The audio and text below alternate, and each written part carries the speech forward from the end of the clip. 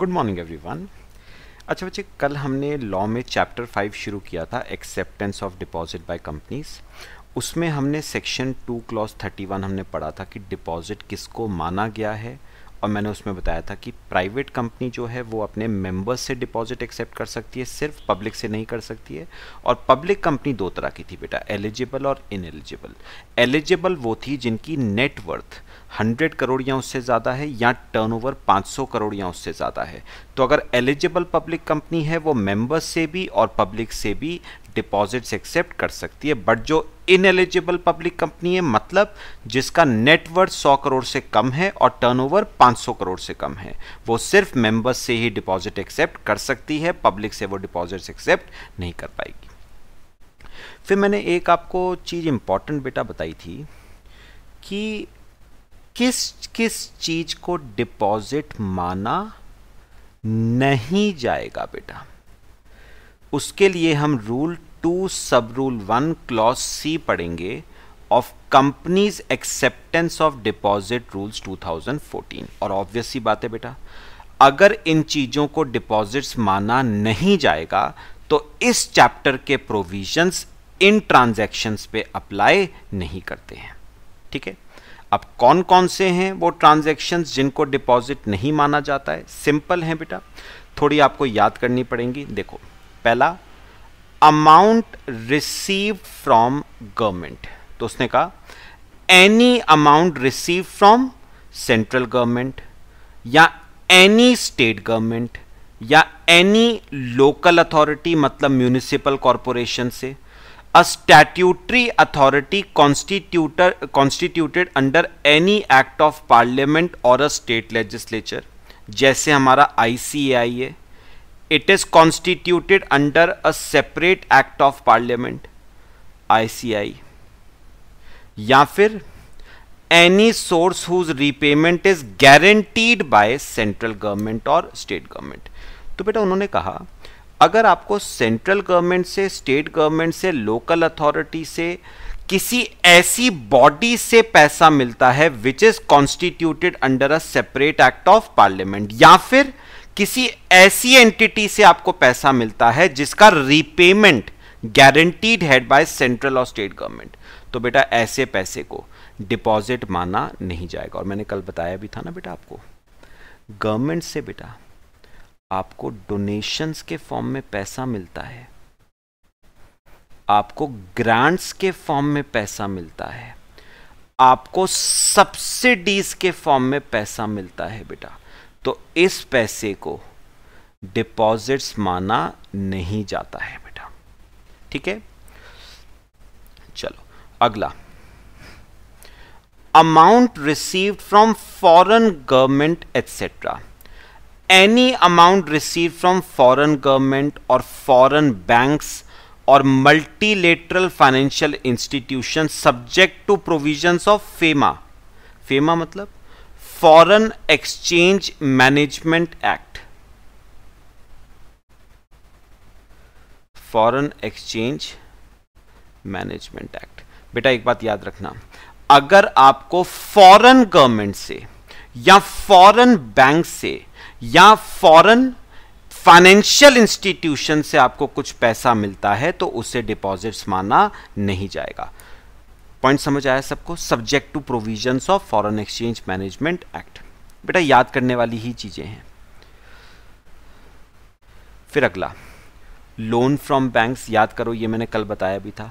Any amount received as a loan और a facility from any banking company तो मुझे एक बार बताओ, अगर आप अगर कोई कंपनी बैंक, किसी बैंक से लोन लेती है तो क्या उस लोन को डिपॉजिट मान लिया जाएगा? बेटा, उसे डिपॉजिट नहीं माना जाएगा और उस चैप्टर पे, और उस लोन पे, इस चैप्टर के प्रोविज़न अप्लाई नहीं करते हैं। सिमिलरली, आपने लोन लिया किसी फाइनेंशियल इंस्टीट्यूशन से तो any amount received as a loan और financial assistance from any public financial institution तो एक बार बताओ ये दोनों पॉइंट्स चाहे आप एक साथ भी पढ़ सकते हो।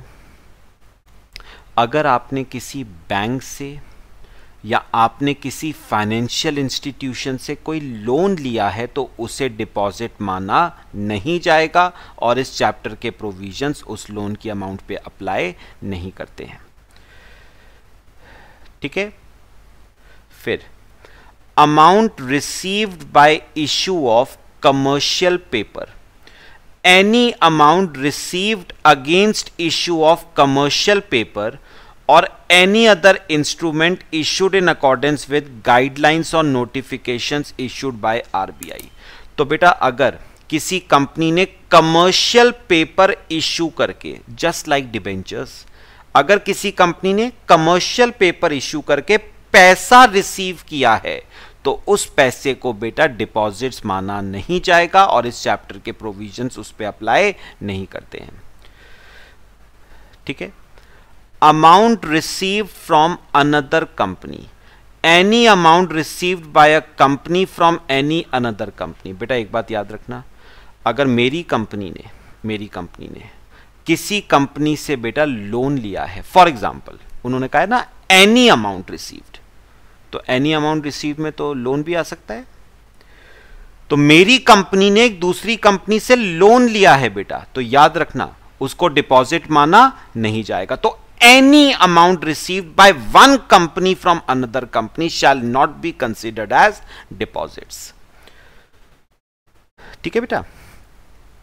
तो इसमें ज़्यादा कुछ बेटा समझाने वाली बातें नहीं है। थोड़ा आपको याद करना पड़ेगा। ये देखना जरा इंपॉर्टेंट है। Amount received as subscription to any securities that is application money बेटा, मैं आपसे एक बात पूछता हूँ। कंपनी जब सिक्योरिटीज या मैं एग्जांपल लेता हूँ, कंपनी जब पब्लिक इशू लाती है बेटा, कंपनी जब क्या लाती है? पब्लिक इशू तो कंपनी एप्लीकेशंस इनवाइट करती है पब्लिक से तो पब्लिक क्या करती है? एप्लीकेशन फॉर्म भरती है उस एप्लीकेशन फॉर्म के साथ एप्लीकेशन मनी का चेक लगाती है और जमा करवा देती है कंपनी के पास। तो बेटा एक बार बताओ कंपनी को पब्लिक से एप्लीकेशन मनी रिसीव हो रहा है। बेटा कंपनी को कंपनी को पब्लिक से एप्लीकेशन मनी रिसीव हो रहा है। उस एप्लीकेशन मनी को डिपॉजिट माना नहीं जाएगा बेटा। पॉइंट बताओ क्लियर हुआ सबको? तो उन्होंने कहा any amount receive toward subscription to any securities if such amount is appropriated against the amount due on allotment of the securities applied for. तो बेटा, एक बात उन्होंने साफ़ साफ़ कही है कि जो एप्लीकेशन मनी आपको पब्लिक से मिला है ना, उसे डिपॉजिट नहीं माना जाएगा। शर्त एक है, शर्त एक है। प्रोवाइडेड आप उस एप्लीकेशन मनी को एडजस्ट करो अलॉटमेंट के अगेंस्ट और यही बेटा करना होता है कंपनी को। तो कंपनी को क्या करना पड़ेगा? ये एप्लीकेशन मनी एडजस्ट करना पड़ेगा। टू बी एडजस्टेड किसके अगेंस्ट अगेंस्ट अलॉटमेंट आपको इस पैसे को अलॉटमेंट के अगेंस्ट एडजस्ट करना पड़ेगा। ठीक है? अच्छा अभी ध्यान से बेटा इंपॉर्टेंट एक दो बातें हैं। It is clarified that if securities for which application money was received are allotted within sixty days of receipt of application money then such application money shall be refunded within next fifteen days बेटा, आप लोगों ने पढ़ा है ना? मैं एक बार जरा दोबारा पढ़ता हूँ जरा। It is clarified that if securities for which application money was received are not allotted होगा बेटा not allotted within sixty days of receipt of application money आपने पढ़ा हुआ है बेटा? एप्लीकेशन मनी मिलने के सिक्सटी डेज़ के अंदर अंदर बेटा कंपनी को सिक्योरिटीज अलॉट करनी पड़ेंगी। अगर कंपनी ने सिक्योरिटीज अलॉट नहीं करी ना तो उस पैसे को अगले पंद्रह दिनों के अंदर अंदर एप्लीकेशन मनी के पैसे को अगला, अगले पंद्रह दिनों के अंदर अंदर क्या करना पड़ता है? रिफंड बेटा, अगर कंपनी ने रिफंड नहीं करा तो बेटा इस पैसे को डिपॉजिट मान लिया जाएगा। यानी एक बात समझो बेटा। सुनो सुनो। मेरे को एक बात बताओ। पहला, सुनो, मैं स्टार्टिंग से शुरू कर रहा हूँ। कंपनी को एप्लीकेशन मनी मिला पब्लिक से। इस एप्लीकेशन मनी को डिपॉजिट माना नहीं जाएगा प्रोवाइडेड इस पैसे को कंपनी एडजस्ट करे अगेंस्ट अलॉटमेंट। ठीक है? अच्छा अगर कंपनी ने अलॉटमेंट कर दिया वेल एंड गुड अगर कंपनी ने 60 डेज़ के अंदर अंदर अलॉटमेंट नहीं करा तो अगले 15 दिनों के अंदर अंदर कंपनी को एप्लीकेशन मनी का पैसा रिफंड करना पड़ेगा। अगर कंपनी ने 15 दिनों के अंदर अंदर रिफंड नहीं करा तो बेटा एप्लीकेशन मनी के पैसे को डिपॉजिट मान लिया जाएगा और इस इस चैप्टर के प्रोविजंस बेटा एप्लीकेशन मनी पे भी अप्लाई करेंगे। तो 15 दिनों के अंदर अंदर पैसा रिफंड कर देना if securities are not allotted within 60 days from receipt of application money अगर आपने 15 दिनों के अंदर अंदर पैसा रिफंड नहीं करा तो एप्लीकेशन मनी को क्या मान लिया जाएगा? डिपॉजिट मान लिया जाएगा। ठीक है? इंपॉर्टेंट पॉइंट है। अच्छा अगला क्या है? Amount receive from a director ध्यान से सुनना बेटा। Any amount receive from a director of the company अब चाहे पब्लिक हो, चाहे प्राइवेट हो और relative of director of private company बेटा यहाँ पर लिखा हुआ है। Relative of director of private company यानी बेटा एक बात सुनो, यानी सुनो। बेटा, अगर कोई कंपनी अगर कोई कंपनी डायरेक्टर से पैसा लेती है ना तो उसे डिपॉजिट माना नहीं जाता है। अगर कोई कंपनी डायरेक्टर से पैसा लेती है, बेटा कई बार डायरेक्टर्स भी कंपनी को लोन देते हैं बेटा। तो अगर कोई कंपनी डायरेक्टर से लोन लेती है तो उसे डिपॉजिट माना नहीं जाएगा। इनफैक्ट बेटा, प्राइवेट कंपनी के केस में तो आप डायरेक्टर के रिलेटिव से भी लोन ले सकते हो बेटा, तब भी डिपॉजिट माना नहीं जाएगा। बात समझो? प्राइवेट कंपनी बेटा, दो लोगों से लोन ले सकती है। किस किस से पैसा ले सकती है? डायरेक्टर से और उसके रिलेटिव से। जबकि बेटा पब्लिक कंपनी सिर्फ़ किससे ले सकती है? डायरेक्टर से। रिलेटिव सिर्फ़ किस केस में है? प्राइवेट कंपनी के केस में। तो प्राइवेट कंपनी डायरेक्टर प्लस उसके रिलेटिव से ले सकती है, डिपॉजिट माना नहीं जाएगा, जबकि पब्लिक कंपनी सिर्फ़ डायरेक्टर से ले सकती है और उस पैसे को लोन माना नहीं जाएगा। बट शर्त है बेटा, शर्त है। Condition for receiving such amount, शर्त है बेटा। क्या शर्त है? The person from whom the money is received. Shall furnish to the company at the time of giving money a written declaration. उस पर्सन को जिसने लोन दिया है, उसे क्या देना पड़ेगा? एक रिटर्न डेक्लरेशन देना पड़ेगा। किस बात का? That amount is not being given out of funds acquired by him by borrowing और एक्सेप्टिंग लोन और डिपॉजिट फ्रॉम अदर्स बेटा सुनो जिस पर्सन ने कंपनी को पैसा दिया है ना, अब चाहे वो डायरेक्टर हो या उसका रिलेटिव हो, उस पर्सन को एक लिखित में एक डेक्लरेशन देना पड़ेगा कि जो पैसा उसने कंपनी को दिया है ना, वो पैसा उसने किसी और से बोरो नहीं किया है। अपने फंड्स में से उसने पैसा कंपनी को दिया है। किसी और से लोन लेके उसने कंपनी को पैसा नहीं दिया है। ये रिटर्न डिक्लेरेशन उस पर्सन को देना पड़ेगा। ठीक है? The company shall disclose the details of the money so received in board report. और कंपनी को बेटा जो भी मनी रिसीव हुआ है ना डायरेक्टर से या उसके रिलेटिव से, उसकी इंफॉर्मेशन डिस्क्लोज करनी पड़ेगी बेटा अपनी बोर्ड रिपोर्ट में। पहले बताओ, बात समझ आई तो मैं एक बार दोबारा बोल दूँ? प्राइवेट कंपनी बेटा किस किस से पैसा ले सकती है डायरेक्टर से और उसके रिलेटिव से? पब्लिक कंपनी सिर्फ़ किससे ले सकती है? डायरेक्टर से। तो इसे डिपॉजिट माना नहीं जाएगा प्रोवाइडेड शर्त एक है? जिस पर्सन ने कंपनी को लोन दिया है, वो लिखित में एक डिक्लेरेशन देगा कि जो पैसा उसने कंपनी को दिया है, वो पैसा उसका है। उसने वो पैसा किसी से बोरो, किसी से उधार पे नहीं लिया है। अपने पास से उसने कंपनी को पैसा दिया है। किसी से बोरो करके उसने कंपनी को पैसा नहीं दिया है। और कंपनी को इस पैसे की डिटेल अपनी बोर्ड रिपोर्ट में डिस्क्लोज करनी पड़ेगी। ठीक है बेटा, समझ आ रहा है? चलो, अगला पॉइंट हमारा क्या कहता है? Amount raised by issue of secured bonds और डिबेंचर्स सिक्योर्ड बॉन्ड्स और डिबेंचर्स देखो वो क्या कह रहा है। Any amount raised by issue of secured debentures if debentures are secured by a first charge और a charge ranking pari passu with first charge बेटा उन्होंने क्या कहा?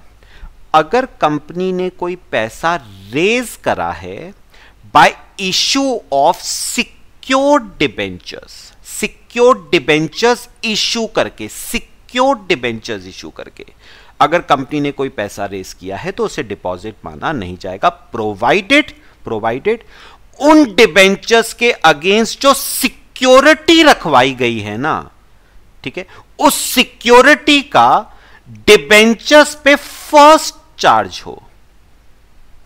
उस सिक्योरिटीज का डिबेंचर पे फ़र्स्ट चार्ज हो। बेटा फ़र्स्ट चार्ज का क्या मतलब होता है? मतलब बेटा फ़र्स्ट चार्ज सेकंड चार्ज का मतलब क्या होता है?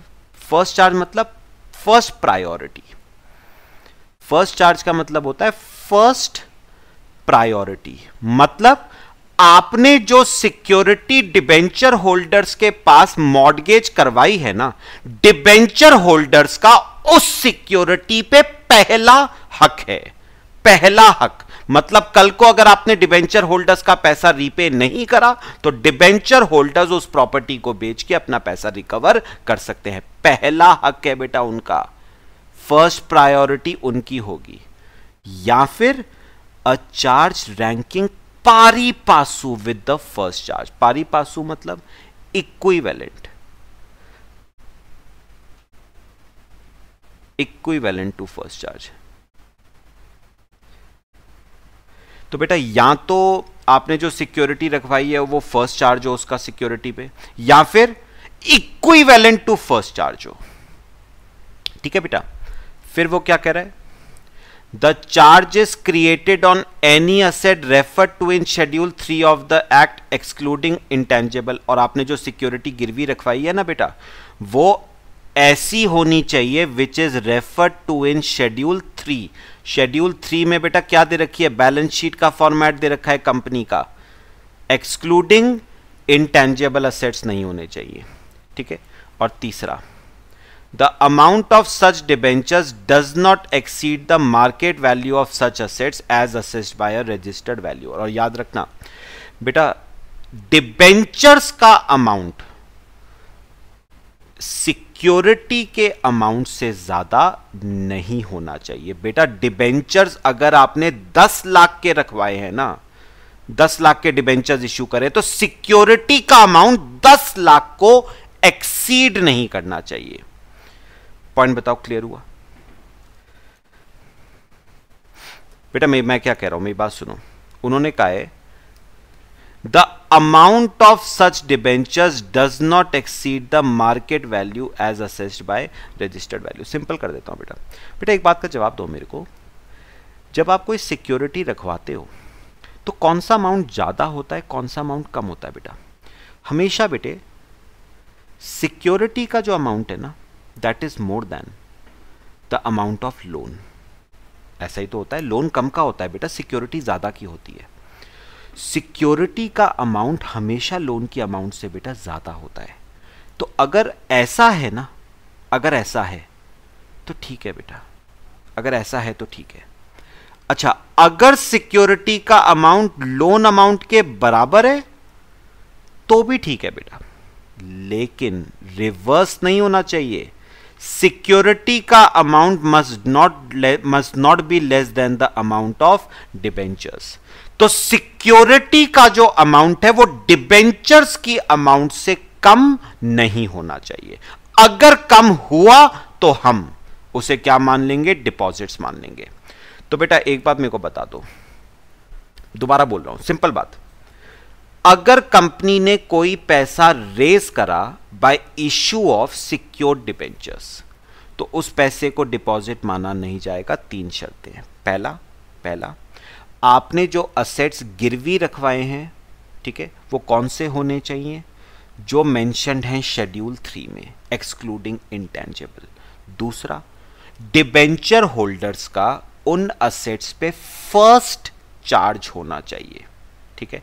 और तीसरा सिक्योरिटी जो असेट्स रखवाए हैं ना, उनकी मार्केट वैल्यू डिबेंचर्स की अमाउंट से कम नहीं होनी चाहिए बेटा। अगर कम हुई तो याद रख लेना, उसे डिपॉजिट्स मान लिया जाएगा। क्योंकि बेटा नॉर्मली तो सिक्योरिटी की वैल्यू लोन से ज़्यादा होती है। एट द मैक्स लोन के बराबर हो सकती है बट कम नहीं हो सकती। और अगर कम हुई तो उसे डिपॉजिट मान लिया जाएगा। ठीक है? फिर amount raised by issue of non convertible listed debentures बेटा, ऊपर कौन से डिबेंचर्स की बात करी थी? सिक्योर्ड अब हम बात कर रहे हैं नॉन कन्वर्टेबल लिस्टेड डिबेंचर्स तो उन्होंने कहा any amount raised by issue of non convertible debentures not constituting a charge on the assets of the company बेटा, इसका क्या मतलब हुआ? Not constituting a charge on the assets of the company simple words में बोले जाए तो unsecured बेटा। नॉट कॉन्स्टिट्यूटिंग अ चार्ज मतलब अनसिक्योर्ड ऑब्वियस बात है ना, इस पॉइंट में बेटा, इस पॉइंट में। कौन से वाले डिबेंचर्स कवर्ड है? अनसिक्योर्ड कवर्ड है बेटा। सिक्योर्ड तो ऊपर कवर हो चुके हैं। तो सिक्योर्ड को बार बार नहीं कवर करना है। सिक्योर्ड ऊपर कवर हो गए। अब नीचे कौन से कवर्ड है? Non convertible listed and unsecured बात समझ आई? कौन कौन से कवर्ड है? नॉन कन्वर्टेबल कवर्ड है इस वाले पॉइंट में? लिस्टेड होने चाहिए और अनसिक्योर्ड होने चाहिए। ठीक है? तो अगर आपने कोई डिबेंचर्स इश्यू करे जो लिस्टेड है नॉन कन्वर्टेबल है और अनसिक्योर्ड है तो जो पैसा रेस करा है, उसे डिपॉजिट माना नहीं जाएगा। पॉइंट समझ आया सबको? क्लियर अच्छा। अगला। Security deposit receive from an employee any security deposit receive from an employee of the company if the following two condition are satisfied security deposit is non interest bearing security deposit Amount of security deposit does not exceed annual salary of such employee. बेटा कई बार क्या होता है? मैं आपको example देता हूँ। कई बार क्या होता है बेटा? जब आपको इस कोई नया एम्प्लॉय रिक्रूट करते हो ना, आप कोई नया एम्प्लॉय रिक्रूट करते हो तो उसमें बेटा आप ना एक बॉन्ड साइन करवाते हो। एक बॉन्ड साइन करवाते हो एम्प्लॉय से। किस बात का बॉन्ड कि से फॉर एग्ज़ाम्पल एक साल तक, एक साल तक तुम हमारी कंपनी को छोड़ के नहीं जा सकते। ठीक है? अगर तुम एक साल एक साल तक, अगर तुम कंपनी को छोड़ के गए, एक साल के अंदर अंदर तो एक साल में जितनी सैलरी हमने तुम्हें दी है ना, वो सारी तुम्हें वापस करनी पड़ेगी। तो मैंने क्या कहा बेटा? एक साल तक तुम हमारी कंपनी को छोड़ के नहीं जा सकते। अगर तुम एक साल में कंपनी को छोड़ के गए तो जितने मंथ्स की सैलरी तब तक हमने तुम्हें दी थी, वो सारी तुम्हें रिफंड करनी पड़ेगी। और बेटा, ऐसे केस में ना कंपनी क्या करती है? कंपनी अपने एम्प्लॉय से सिक्योरिटी डिपॉजिट रखवा लेती है बेटा। सिक्योरिटी पहले ही रखवा लेती है बेटा, पहले ही रखवा लेती है सिक्योरिटी ठीक है? बेटा ये सिक्योरिटी ना रिफंडेबल होती है। रिफंडेबल का मतलब क्या हुआ? अगर इंप्लॉय एक साल तक जॉब को छोड़ के नहीं गया तो ये सैलरी उसकी क्या कर दी जाती है? सिक्योरिटी क्या कर दी जाती है? रिफंड कर दी जाती है। तो उन्होंने कहा कि इस सिक्योरिटी डिपॉजिट को डिपॉजिट माना नहीं जाएगा और इस चैप्टर के प्रोविजंस इस पे अप्लाई नहीं करेंगे। शर्त दो हैं। पहली बात, ये security deposit non interest bearing होना चाहिए। नॉन इंटरेस्ट मतलब बेटा एक बात सुनो, ऐसा नहीं होना चाहिए कि कंपनी इंप्लॉय को इस सिक्योरिटी डिपॉजिट पे क्या दे रही है? इंटरेस्ट दे रही है। ऐसा नहीं होना चाहिए क्योंकि अगर कंपनी ने इंप्लॉय को इस सिक्योरिटी डिपॉजिट के अमाउंट पे इंटरेस्ट दिया तो बेटा इसे डिपॉजिट मान लिया जाएगा और इस चैप्टर के प्रोविज़न इस पर अप्लाई करेंगे। तो पहली बात नॉन इंटरेस्ट बेयरिंग होनी चाहिए मतलब कंपनी इंप्लॉय को कोई इंटरेस्ट ना दे रही हो इस डिपॉजिट पे। और दूसरी बात जो सिक्योरिटी डिपॉजिट का अमाउंट है ना it must not exceed annual salary of such employee suppose बेटा एम्प्लॉय की एनुअल सैलरी है पाँच लाख। तो बेटा, सिक्योरिटी डिपॉजिट का जो अमाउंट है ना, वो पाँच लाख से ज़्यादा नहीं होना चाहिए। अगर पाँच लाख से ज़्यादा हुआ तो बेटा उसे डिपॉजिट मान लिया जाएगा। समझ आई बेटा? तो मैं एक बार दोबारा बोल देता हूँ। एम्प्लॉय ने कंपनी को सिक्योरिटी डिपॉजिट दिया। इसे डिपॉजिट माना नहीं जाएगा और इस चैप्टर के प्रोविज़न इस डिपॉजिट पे अप्लाई नहीं करते हैं। शर्त दो हैं। पहला, वो डिपॉजिट नॉन इंटरेस्ट बेरिंग होना चाहिए और दूसरा, वो डिपॉजिट एम्प्लॉय की एनुअल सैलरी से ज़्यादा नहीं होना चाहिए। ऐसा नहीं कि आपने उसको सिक्योरिटी डिपॉजिट रखवाने को कह दिया तीन साल की सैलरी का। एक साल की पाँच लाख तो तीन साल की कितनी होगी? पंद्रह लाख का डिपॉजिट रख दे हमारे पास। नहीं बेटा, फिर उस केस में उसे डिपॉजिट मान लिया जाएगा। तो मैक्सिमम डिपॉजिट कितना रखवा सकते हो? एक साल की सैलरी के बराबर। दैट्स इट दो, तीन, चार साल की सैलरी के बराबर डिपॉजिट नहीं रखवा सकते।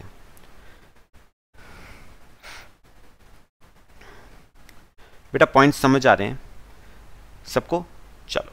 अगला पॉइंट क्या है? Amount held in trust any non interest bearing amount received और held in a trust by a company ठीक है, इसमें खास कुछ नहीं है। अगला। ध्यान से देखना है बेटा।